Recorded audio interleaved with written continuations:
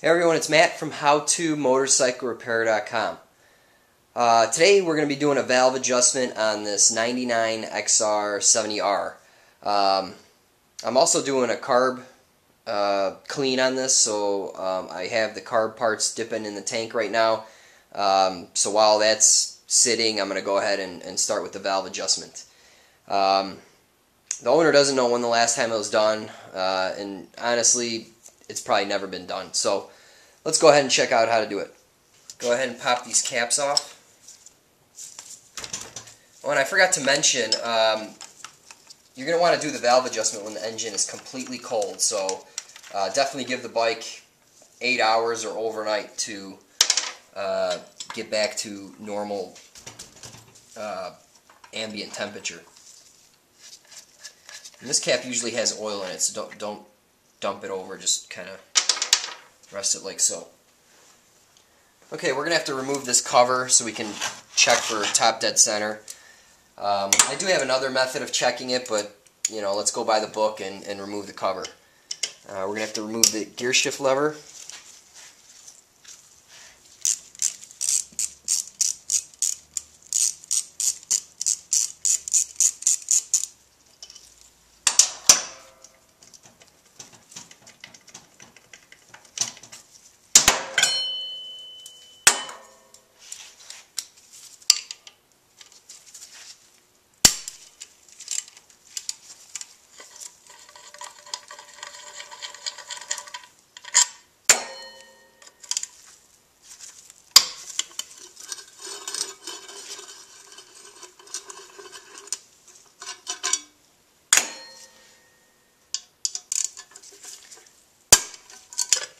Alright, so there's three bolts that hold that on.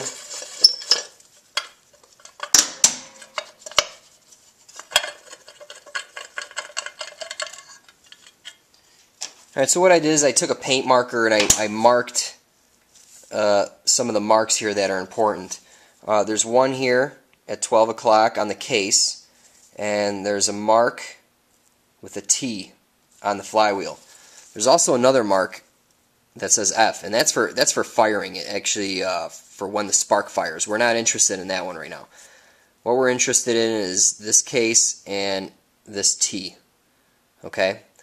Um, however, we couldn't be 180 off. So let me let me back the camera up a little bit, and then I'll show you what I'm talking about.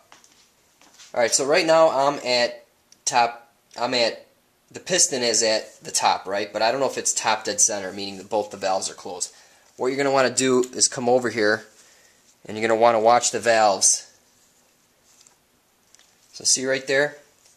This is lined up, but as soon as I move it a little bit, this guy starts to move. So we're not at top dead center. We're the piston is going to want to come back down and intake valve open. So I want to go 180 more.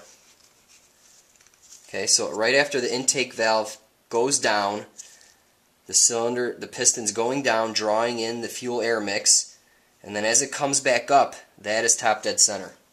So see it's closing, piston's coming up, and now we're at top dead center.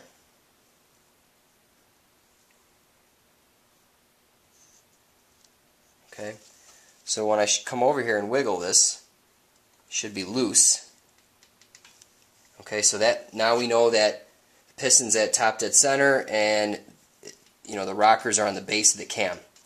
So now we can begin to check the, uh, the clearance. Alright, so the valve clearance is supposed to be 2 thousandths plus or minus 1. So right here I have a 2 thou feeler gauge and this is a junky one and what I did is I bent it at a 90 degree here so you can get in it easier. You can see you just kind of put it right in between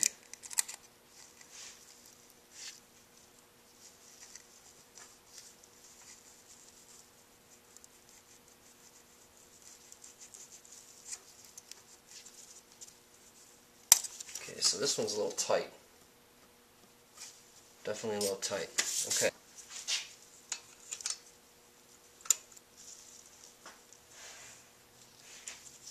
Alright, so I got my 9 mil wrench on here. You're going to want to loosen the lock nut.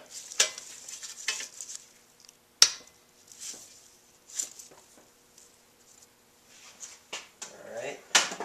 I think they make a tool to do this all in one shot, but I don't have that So I'm going to back this hex off, or actually it's a square. I'm going to turn it about a quarter turn and then tighten the lock nut. Let's see where that puts us.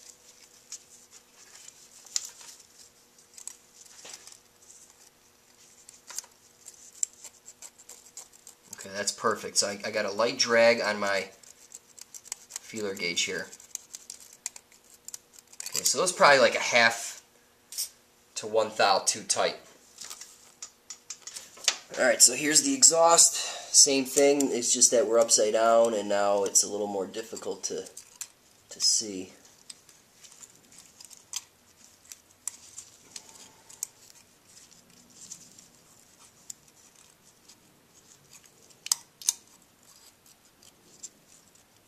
Alright, so this one's good. I, I feel a light drag on it. And sometimes what you want to do is you want to see if you can move it up and down. And I can't, so, so this one's good. Okay, we can go ahead and put the cap back on.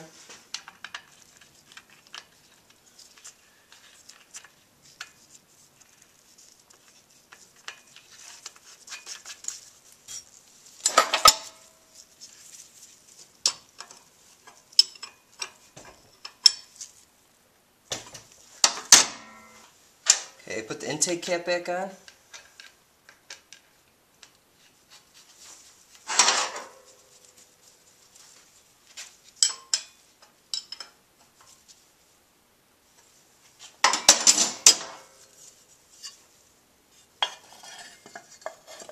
Put the cover back on.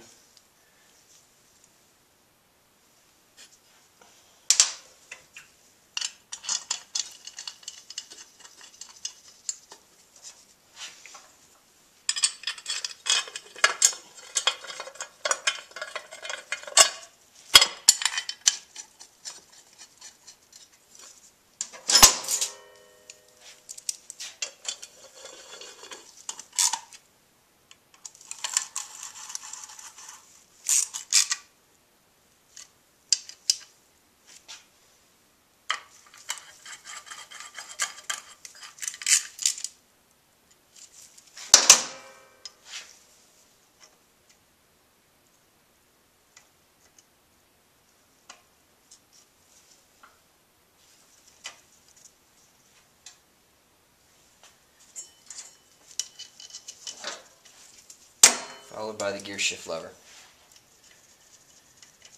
Alright, so that's pretty much it. That wraps up this video. Um, again, check out the carburetor clean video. And since this bike is equipped with a aftermarket air filter, I noticed that it's running kind of lean. It may be just because the carburetor is dirty, um, but chances are we need to uh, do a little rejetting, so uh, you might see a, a jetting video on this bike as well. So, Alright, that's it for this bike. Uh, you know, you do a valve adjustment, keep the carb clean and fresh oil, and these things really last a long time. So, it's Matt from HowToMotorcycleRepair.com. Thanks for watching.